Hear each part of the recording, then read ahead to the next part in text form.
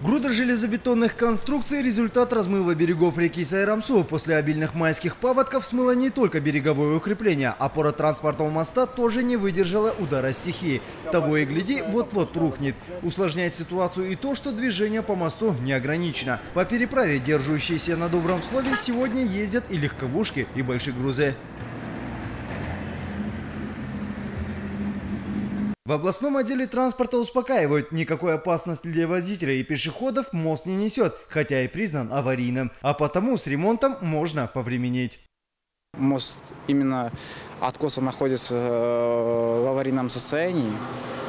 В- этом году мы уже туда делаем сметную документацию для ремонта дорог данного моста. Скорее всего, если бюджет утвердится, то мы начнем в 2018 году ремонт данного моста именно по укреплению откосов и проезжей части.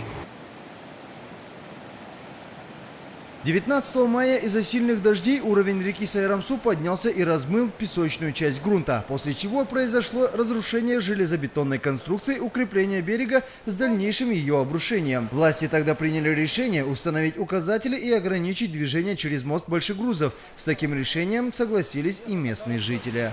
Бұрын гравиль болғанда мынау жерде бәрі гравиль Гравийное покрытие реки растаскали, вот и вода размыла берег. Кроме того, сорокатонники катаются по мосту, а он еле стоит. Он не рассчитан на эти ховы. Прекратите, сделайте объезд, сделайте то, сделайте все. Сказали, это не наша проблема, это пускай ездят.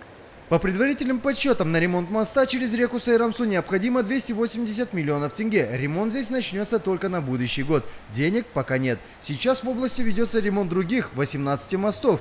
Эти переправы также нуждаются в немедленном укреплении. На эти цели было предусмотрено 552 миллиона тенге. Бахром Абдулаев, Бауржан Жусипов, Ербулат Султаев, информационная служба телекомпании «Отрар».